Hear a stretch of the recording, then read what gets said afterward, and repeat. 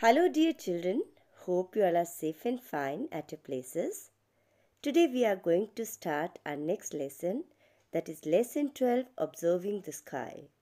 In this lesson, you will learn about day and nighttime sky, stars, constellations, pole star, and how to identify the planets and the sky. In my today's video, I'll talk about daytime and nighttime sky. So let's get started. We can see the sun and sometimes even the moon during the daytime. The sun dominates the daytime sky with its brightness.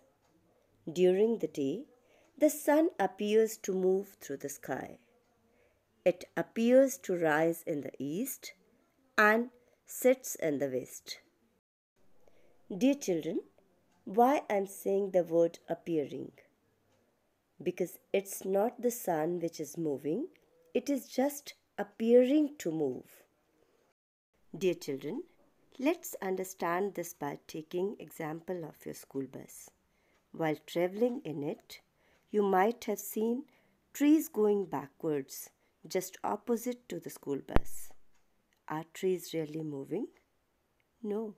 It is the school bus which is moving. Trees, they just appear to move opposite to the school bus. Same is the case with sun. It is the earth which is rotating on its axis from west to east. That's why sun appears to move from east to west. We now understand that this apparent motion of the sun for us is because of the rotation of the earth on its axis from west to east. Children, we can also sometimes see some planets like Mercury and Venus during early morning hours. These planets have therefore been named as morning stars. They are also called evening stars as they are sometimes observed during evening time also. Now children we will learn about the nighttime sky. We all know that moon appears as the brightest and most recognizable object in the sky at night.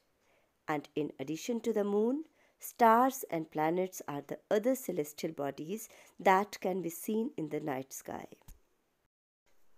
As we know that Venus is the brightest object in the sky after the sun and the moon. But Venus is not the only planet we see in the night sky.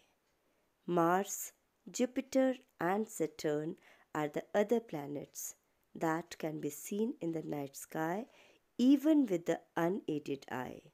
The rest of the planets are very faint and can be seen only with the help of powerful telescopes.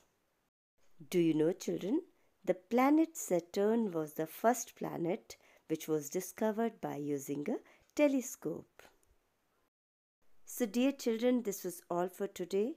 Thanks for watching. Bye bye.